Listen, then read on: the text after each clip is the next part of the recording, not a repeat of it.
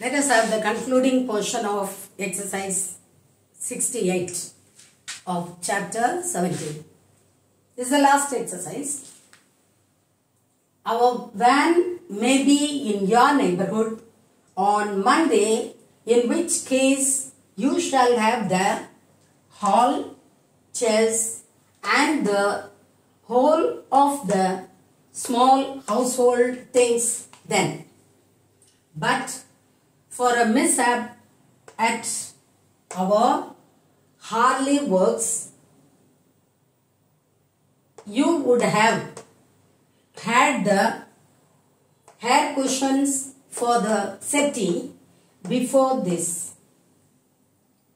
We hope, however, to receive them on Friday and to deliver them with the other things on Monday. So this is the conclusion. Yours truly. This chapter is getting over and please do practice more and more. I shall give the next chapter maybe after some times. Thank you and bye-bye.